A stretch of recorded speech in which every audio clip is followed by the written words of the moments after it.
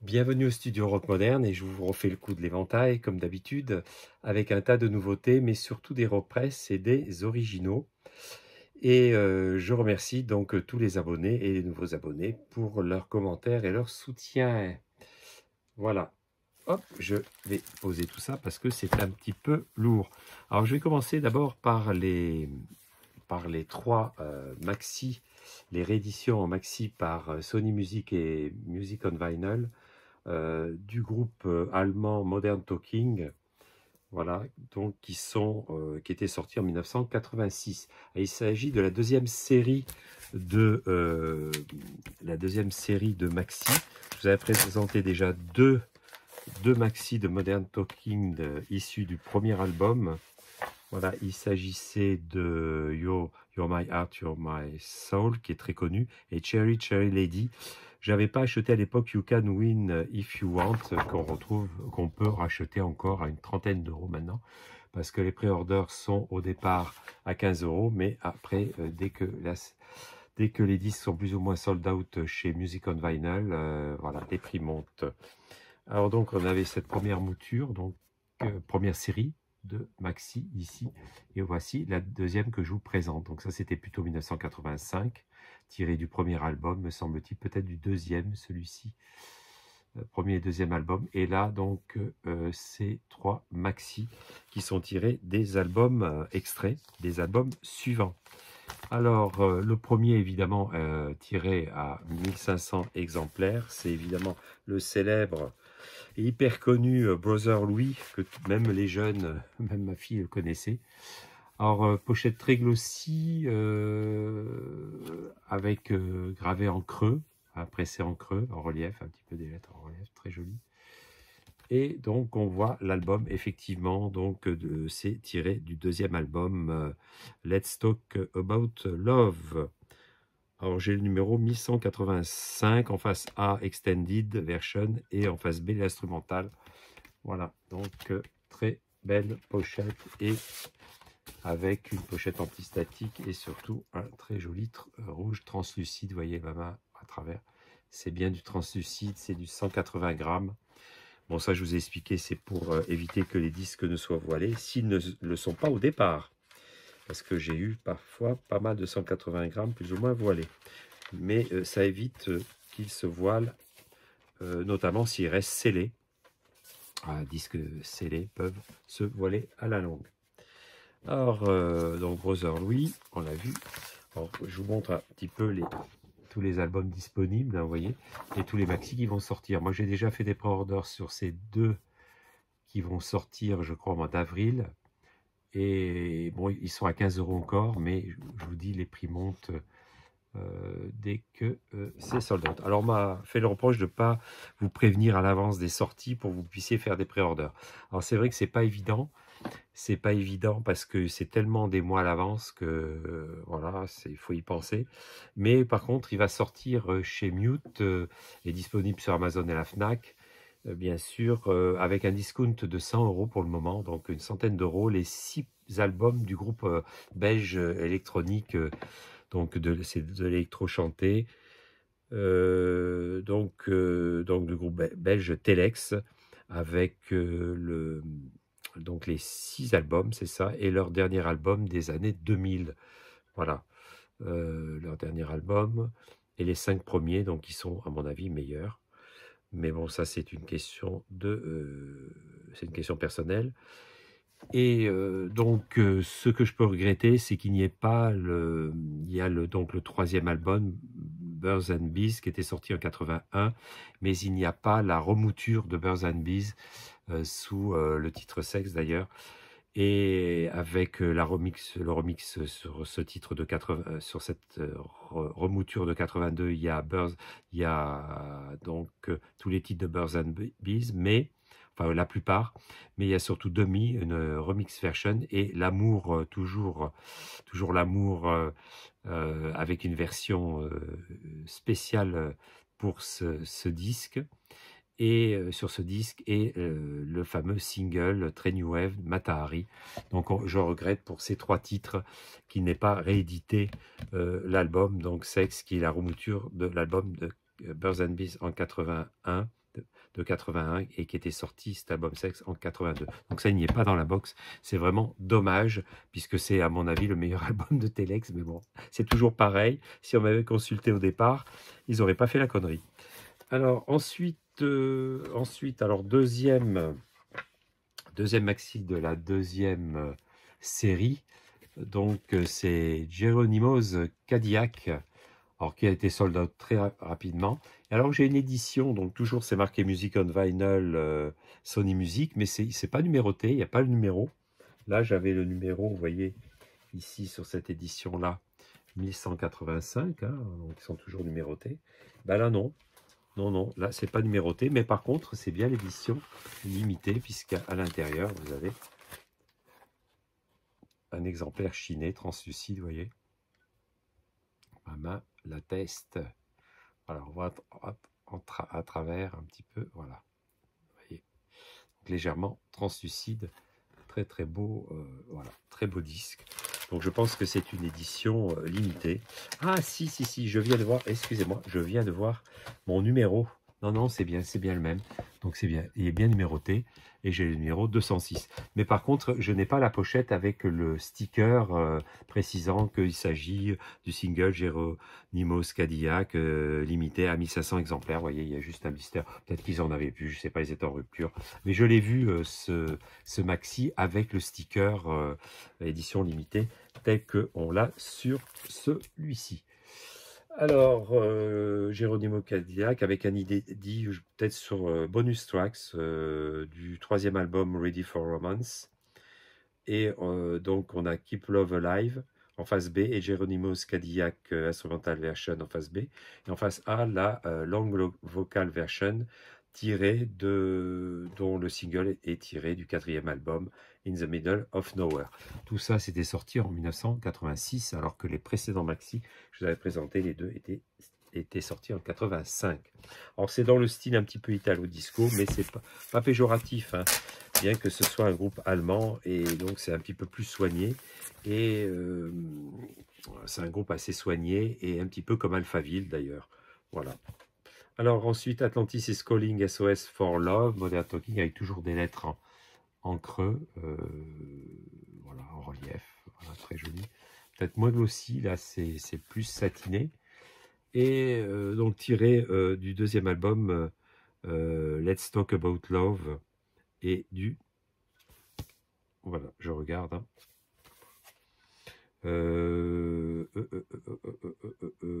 Voilà. Écoutez, je ne sais pas exactement de quel album c'est tiré. Euh, peut-être que ça va être expliqué à l'intérieur. On va regarder ça. Euh... Non, c'est pas marqué. Bah, écoutez, alors toujours édition limitée, j'ai le numéro 153, vous voyez. Et là, on a un sticker, vous voyez, ils sont de moins bonne qualité. J'ai vu qu'il s'effaçait.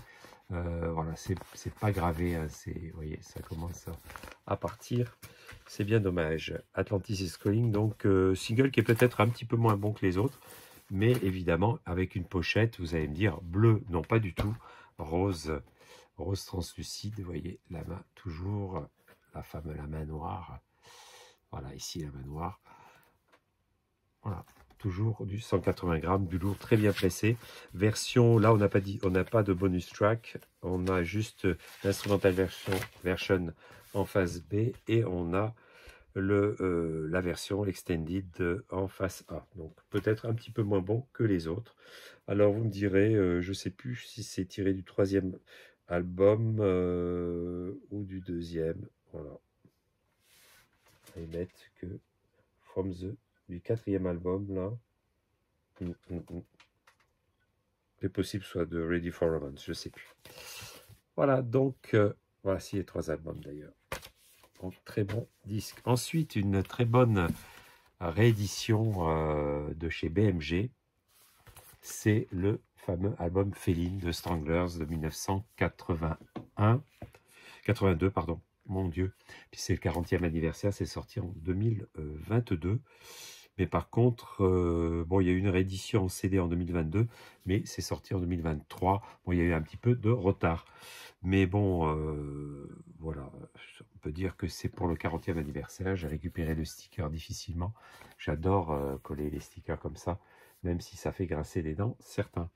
Alors dessus, on a l'album initial qui était pas en gatefold, hein, qui était simple, qui plus brillant, avec tous ces titres, notamment Midnight Summer Dream, Paradise et aussi The European Female, qui est un des meilleurs titres de l'album, mais aussi de Stranglers, à mon avis, un des meilleurs titres.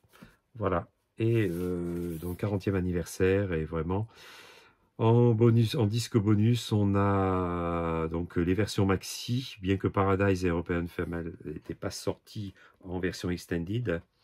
Et on a aussi des inédits de, euh, de maxi et oh, de, euh, du, prochain album Original Sculpture, on a Manifesto, un instrumental assez court mais assez, assez, assez bon, que j'ai beaucoup aimé. Enfin court, voilà, qui ne s'éternise pas quoi. Et alors, évidemment, maintenant, surprise. Donc, euh, voilà. je vais vous montrer quand même la tracklist.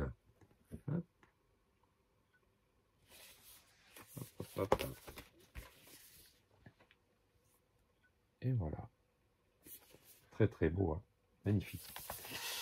Et alors, à l'intérieur, évidemment, vous avez euh, les, les, crédits, les chansons, les paroles des chansons plutôt. Voilà. Je vous avais Voilà, je voulais pas écorcher son nom. Le chanteur, euh, c'est Hugues Cornouel. Je vous renvoie à ma playlist sur les discographies de groupes. Et vous avez une discographie sur le groupe euh, Stranglers, peut-être même en deux parties, parce qu'il y a tellement de disques. Et là, on a un premier album, c'est du 140 grammes, mais très très bien pressé. Donc chez BMG, c'est toujours bien pressé. Et on a euh, c'est saumonné à marbré en rose. J'essaye de vous le montrer, parce que là, la couleur fait un petit peu orangé, alors qu'en fait, c'est vraiment très très très très très saumon. Je vais voir si j'arrive pas. Voilà, voilà. Là, on, on sera, voilà, on est dans la bonne, on est dans le bon ton ici. Voilà, impeccable. Macaron d'origine, voyez. Voilà, très euh, très bon. Et alors là, vous allez voir ensuite la superbe sous-pochette. Ils ne se sont pas fichus, fichus de nous pour euh, des disques qui valent euh, moins de 30 euros quand même. C'était intéressant. Tout ça, c'est des précommandes qui dataient de, mois et de mois. Ils étaient retardés d'ailleurs. Regardez ça féline. Vraiment magnifique. Pareil, hein, c'est le même disque. Je peux vous le montrer tellement que c'est beau. Voilà. Très très très très beau. Très bon pressage, très bon disque. Si vous le trouvez encore, je pense, hein, il sera peut-être un petit peu plus cher. Prenez-le parce que c'est un des meilleurs disques New Wave. Vraiment. Et puis, euh, bon, l'original était plus, euh, plus brillant hein, que j'ai. Mais c'était pas des Gatefold. Hein à moins qu'il y ait une version limitée de, luxe à l'époque, mais c'était pas des Gatefold du tout. Là, le chanteur ici, fabuleux, fabuleuse voix, fabuleux groupe. Alors, qui n'avait pas démarré avec la New Wave, mais qui, euh, c'était un petit peu, moi, euh, je ne vais pas comparer à Pink Floyd, mais un petit peu, euh, Pink Floyd quand même a annoncé un petit peu la musique euh, New Wave légèrement. Hein. C'est pas du tout, c'est du rock progressif, la voix est pas du tout New Wave. Mais je veux dire, dans, certaines sonorités instrumentales, notamment avec des synthétiseurs, il y en a quelques-unes, on, trouve déjà des, des, des similitudes avec la New Wave. Donc la New Wave s'est inspirée de cet album, ça c'est sûr. Eh bien, euh, donc Stranglers au départ en 75 par là n'était pas un groupe euh, new wave. Bon après, il, a vite, euh, il a vite viré à la new wave. Voilà ce que je voulais dire. Alors The Cult. Alors j'ai pas l'album original.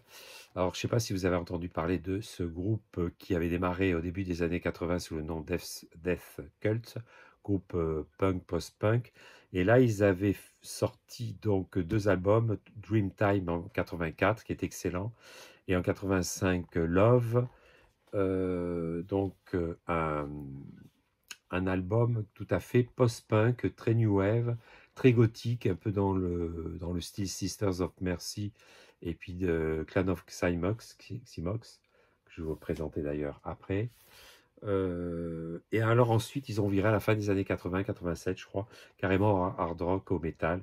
Voilà, ils sont revenus un petit peu à leur euh, désir premier. Et on a évidemment les titres tirés de cet album très connu, Rain. Moi, j'ai Rain et Revolution, mais il y avait aussi, qu'est-ce qu'ils nous mettent là Include She Sells Sanctuary. Sanctuary. Mais Rain, je vous invite à voir la vidéo sur YouTube du euh, clip Rain, très avant-gardiste pour l'époque de 85, vous vous rendez compte, qui a été remasterisé d'ailleurs. Donc euh, on a tout ça, euh, donc je vous remonte encore, vraiment très très très beau disque. Voilà, le macaron que j'ai sauvé. Par contre, c'était un replaceable macaron, celui-ci. Acheté 25 euros, hein, c'était édition limitée chez euh, Beggars and Banquet indirectement. Ils n'ont pas pas pressé, mais c'est le label d'origine. Il n'y a pas de major ici, c'est le même label que celui de Gary Newman à l'époque. Alors pareil, euh, translucide, rouge. Euh. Alors l'édition noire vaut plus cher d'ailleurs, finalement en France. Bon, tout ça c'est de l'import. Hein. C'est de l'import, hein, parce qu'en France on trouve plus grand chose maintenant. Ça devient pénible. Quand on les reçoit et dans l'état où on les reçoit. Voilà, ensuite, puisqu'on parlait de punk un petit peu, donc le Pink Punk, euh, premier album du groupe Clash. Alors, je vous avais pas dit le nom du chanteur, euh, euh, c'est... alors je regarde... oui, Asbury, c'est ça, Ian Asbury. Voilà, donc le chanteur du groupe The Cult. J'avais oublié de vous le dire. Voilà, par contre là, c'est Mike John et Joe Strummer qui sont chanteurs du groupe Clash. Donc, euh, bien péchu, bien punk, pas post-punk, bien punk. On est en 1977. Euh, album éponyme, premier album éponyme du groupe Clash, euh, qui a marqué toute une génération, comme l'album des Sex Pistols l'année précédente. Donc, c'est vraiment dans la mouvance et avant qu'il ne vire au post-punk et à la new wave, comme avec euh, Rock the Casbah ou avant euh, Sandinista, etc. Excellent, moi j'adore cette période aussi, mais les puristes préfèrent évidemment c'est les deux premiers, trois premiers albums du groupe. Voilà, beaucoup plus punk. Alors, euh, vinyle transparent, donc je vous montre quand même les crédits, le groupe, tout ça, et c'est pressé par Sony Music. Je crois que c'était Columbia qui le faisait à l'époque. Columbia, c'est ça. Columbia ou EMI, je me souviens plus exactement, mais c'est Columbia. 180, euh, oui, The Clash avec un très joli rose. Ça fait pas très punk tout ça, mais bon, pink punk, je pense. Voilà. Et puis, euh, je pense que la, pochette un petit peu rappelait le, rose. Voilà. Et puis, de toute façon, ils avaient, des, mèches, roses aussi, les punks, hein, parfois. Donc, euh, moi j'en avais vu, hein. surtout les filles. Voilà. Hop, Là, c'est un groupe de, de gars.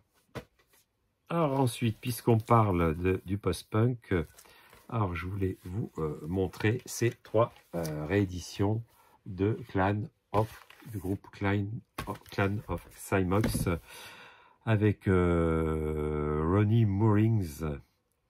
Voilà comme euh, J'espère que je ne me suis pas planté dans l'ordre. Ronnie Moorings, je ne sais pas si c'est marqué ici. Voilà, donc du groupe The Clan Ox of Cymox. Alors je regarde, oui, parce que j'ai un doute sur les années. Je n'ai pas noté ça. Alors je vais vous montrer d'abord le, premier, donc de cette série de trois. Alors ceux-ci, vous ai je vous les ai déjà présentés en vinyle mais les éditions sont tellement, ces rééditions 2023 sont tellement magnifiques, je vais vous les montrer que vous allez voir, ça valait le coup. Des éditions euh, donc euh, rééditées chez euh, Trisol Musique Allemagne et limitées toujours pareil à 500 copies. Alors malheureusement c'est sold out, je suis désolé. Moi je les ai eu à une trentaine d'euros avec un pré-order en Allemagne depuis longtemps. maintenant ils sont à 50 euros, alors c'est vrai, bon, mais, mais le prix va cesser de monter. Alors, In Love We Trust, c'était sorti, maintenant ça y est, ça me revient en 2009. 2009, c'est ça, il y a une quinzaine d'années pratiquement. Et c'est comme sujet religieux euh, de l'époque de Jésus, avec les titres Judas, In Love We Trust, euh, et aussi Marie, euh, je me souviens plus, oui, Hail Mary. Voilà, il y a de très bons titres. voilà, de très bons titres sur l'album cet album et vous allez être époustouflé quand je vais vous montrer l'intérieur. Voilà le chanteur, d'ailleurs, ici. Voilà. Je regarde si on n'a pas des crédits. Voilà, Ronnie Moorings, je me suis pas planté. C'est bien lui. Off, voilà, rassuré. Très joli macaron avec euh, le fameux macaron et le sigle du groupe Xymox. Il avait fondé un groupe électro euh, qu'il a abandonné au bout de quelques albums à la fin des années 80. Au début des années 90, il l'a abandonné pour reprendre le groupe vraiment plus gothique, euh, Pop aussi, The Clan of Xymox, mais on revoit un petit peu le sigle du groupe Xymox. Alors vous voyez, c'est vraiment un très très beau splatter euh, orange translucide. Voyez avec la main, regardez avec le projecteur. C'est magnifique. Voilà, ça valait le coup. Je l'avais en CD, mais je ne l'avais pas du tout en vinyle. Très excellent pressage. Évidemment, c'est de la Deutsche Qualität. Ensuite, ça, c'était sorti. Alors là, j'ai un trou 2016, 2017, voilà, de mémoire. 2017, euh, l'album, euh, donc, euh, Days of Black. Très, très bon aussi. Peut-être un petit peu plus électronique, là. Ouais, non, non, non. Je sais pas. Je pense plus on, va, plus on, plus c'est quand même plus électro. Hein. Enfin, c'est quand même très synth pop. Mais je veux dire, on perd un petit peu de cette verve, je dirais, post-punk, quoi. Voilà, plus on, s'avance dans le temps. voici tous les titres, tout est bon. Si, moi, je l'ai en CD. Donc, j'avais une autre édition en vinyle noir. Moi, je l'ai reprise quand vous allez voir les vinyles à l'intérieur. Euh, vous n'allez pas lire de, jalousie, malheureusement, mais eh, c'est toujours sold out. Euh, presque mettre 50 euros, ça, m'aurait fait mal au cœur. comment ça se fait qu'il n'y ait pas de pochette antistatique à l'intérieur? Peut-être un oubli. Alors, vous allez voir, c'est tout bête, ça fait un peu cratère. Mais alors là, vous allez voir comme c'est beau à la lumière. Vous vous rendez compte là? Voyez, hop, sans lumière. À la lumière, ça fait soleil noir. Ah, c'est vraiment fabuleux, fabuleux, fabuleux. Regardez cette face aussi. Regardez comme ça. Et regardez à la lumière, comme c'est beau. Vraiment, c'est fantastique. Vraiment, je regrette absolument pas ces euh, vinyles. Voilà, donc ça, euh, le premier, je l'avais pas. Celui-ci, je l'avais, mais mes. Et celui-ci, je vous l'avais présenté en version de luxe avec des versions bonus. Spider on the Wall, qui était sorti en 2020 puisqu'on a eu Limbo qui est sorti en 2021, que je vous avais présenté avec des bonus tracks aussi. On a donc ici, on a l'album classique avec Spider on the Wall, mais surtout Lovers, Into the Unknown et All I Never Know. Voilà, les quatre meilleurs. Enfin, tout est bon. Hein. Mais c'est plus commercial peut-être, ça. C'est plus audible, dirons-nous. Et euh, voilà, avec euh, c'est la période Covid, euh, c'est pas, pas la, la joie.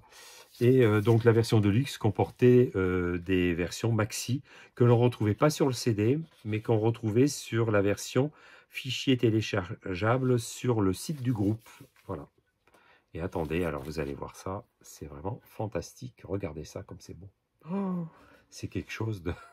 c'est un des plus beaux splatters que j'ai. Et regardez, en plus, quand on l'éclaire, euh, c'est vraiment magnifique. Regardez ça.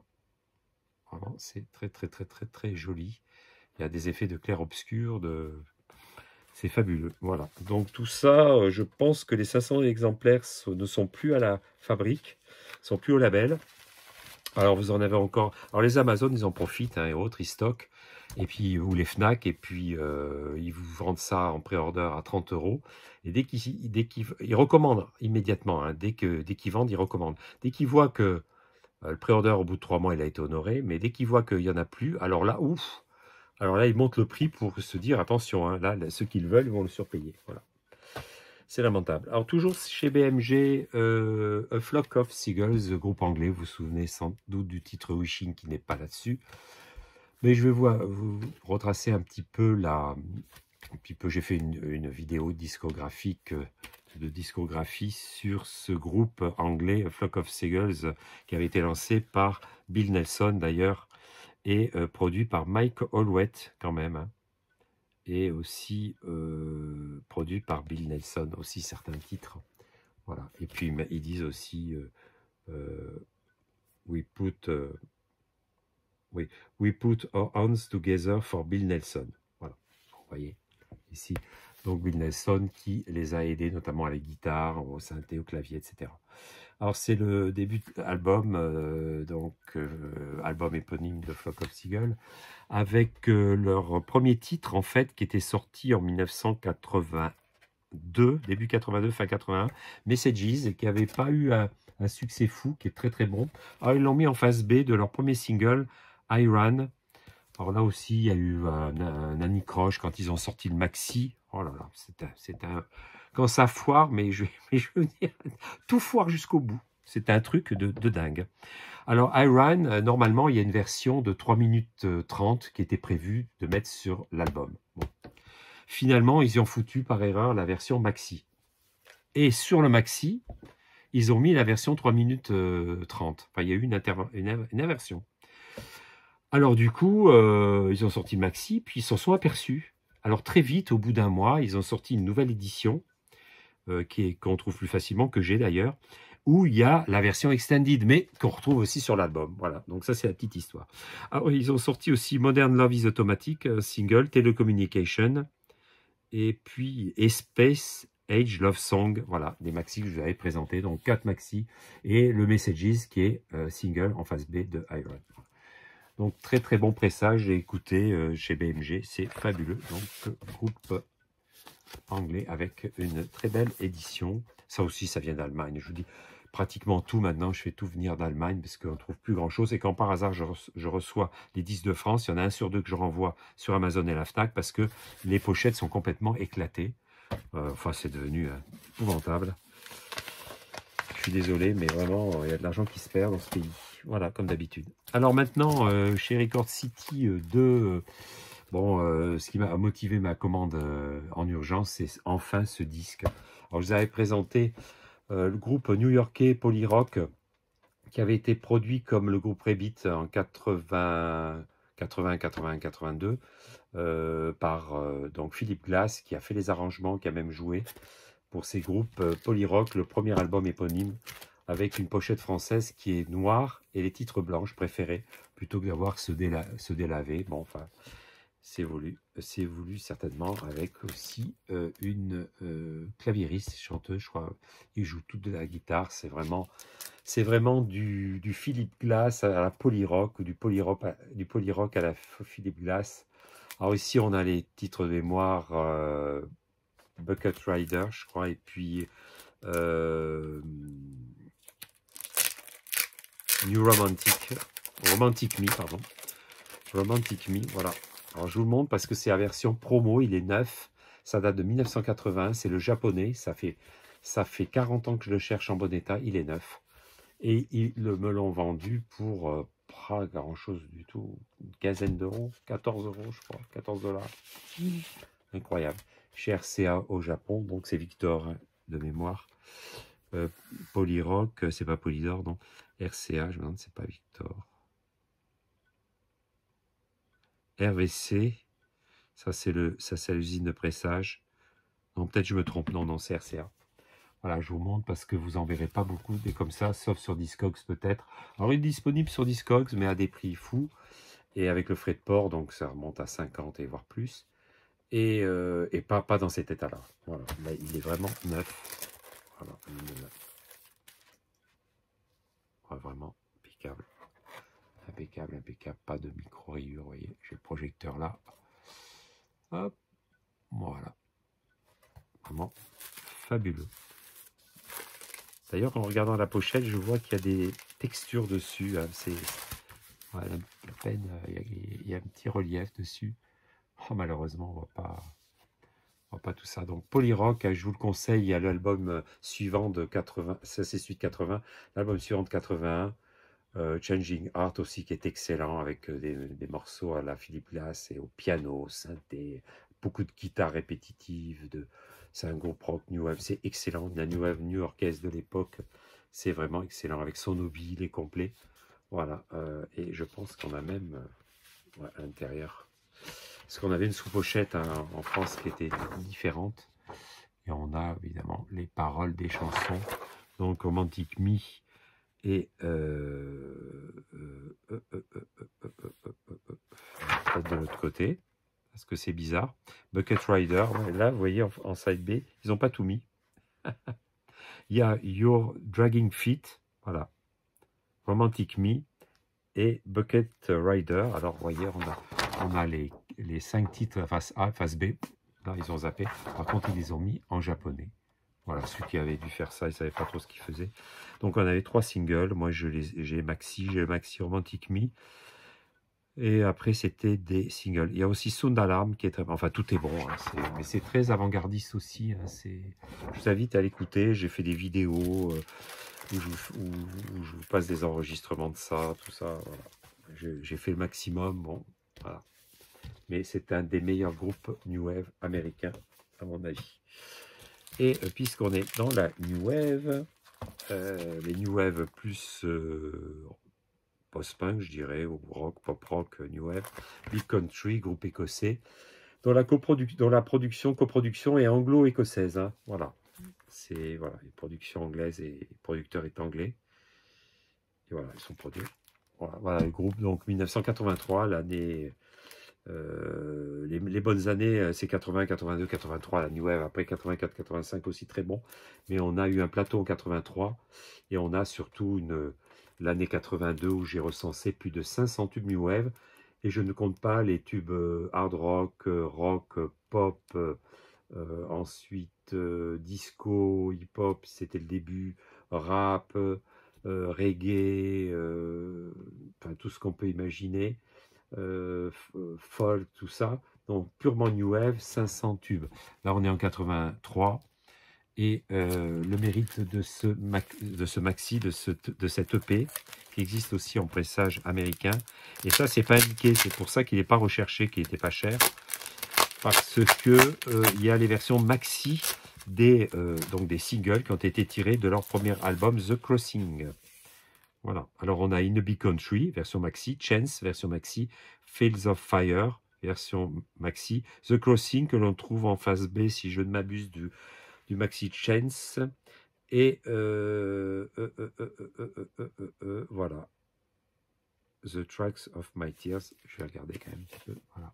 vous voyez, ça faisait un moment qu'il était même tout décoloré. Pourtant, il est en bon état. il est décoloré. Il était certainement dans l'entrepôt. Et on doit avoir certainement un petit liner. pas forcément, puisqu'on a le sticker ici. Donc on n'a pas d'obi, et quand il y a un gros sticker, il n'y a pas d'obi. One Kenobi. Voilà. Alors ensuite, donc chez Mercury, Polyrock c'était RCA, hein, je vous l'avais dit. Mercury, euh, donc Japan, In Big Country, Chance, euh, voilà, que de titres. Et on a ici, euh, voilà. Donc The Crossing, Fells of Fire. Et on a The Tracks of My Tears. Alors ça à vérifier si c'est sur l'album, je ne m'en souviens pas. Donc chez Mercury, donc c'est Polygram, tout ça, euh, certainement au Japon. Voilà, Polygram. Voilà, c'est ça. Qui dit Mercury, dit, euh, parce que c'est un label anglais, Mercury, c'est un sous-label en fait, une filiale de, de Polygram. Nous, on a les phonogrammes. Euh, tout ça, c'était la même chose. Polygram Messagerie. Voilà, chez Phonogramme en France, c'est Polygram. Donc, et là, au Japon, c'est donc Polygram. Voilà, pour la petite histoire. Hop. Ah, peut-être à nettoyer. Voilà, j'écoute. Donc, ce sont les versions maxi.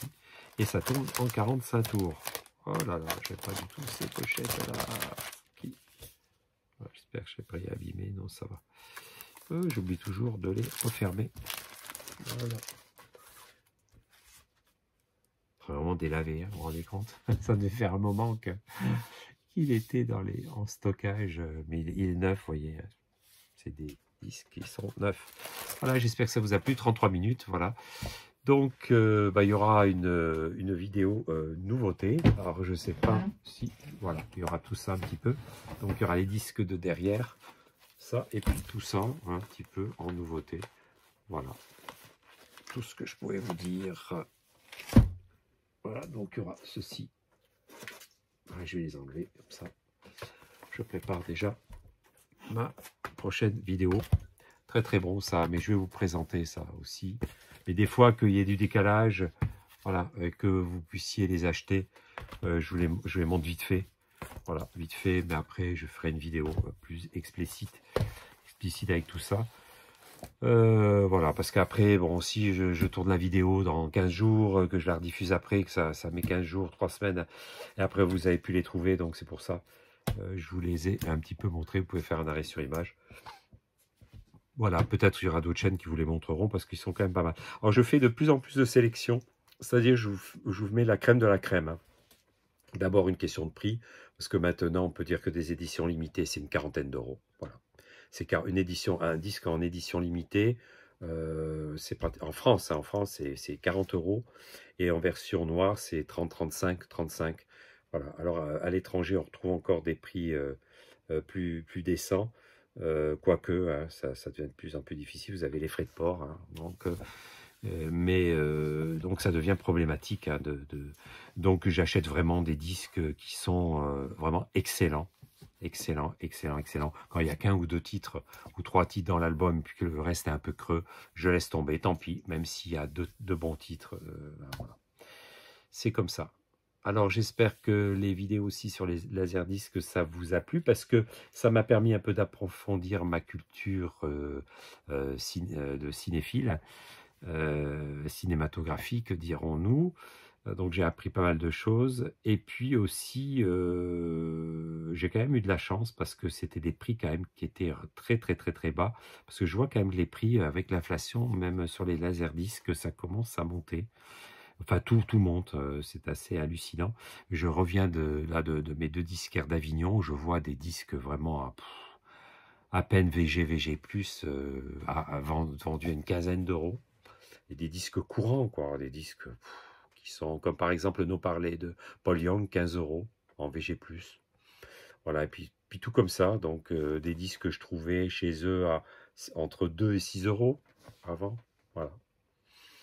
Donc c'est un peu inquiétant toute cette inflation. Euh, voilà, il y aura des arrivages aussi de chez Waxwork et Mondo, mais alors avec les pré-orders, les, délais, vous vous rendez compte, il y a des, livraisons qui sont prévues pour le mois de juin, pour le mois de juillet, pour moi.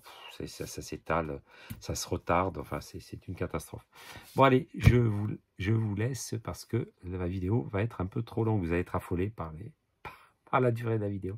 Allez, salut, à bientôt et bon visionnage.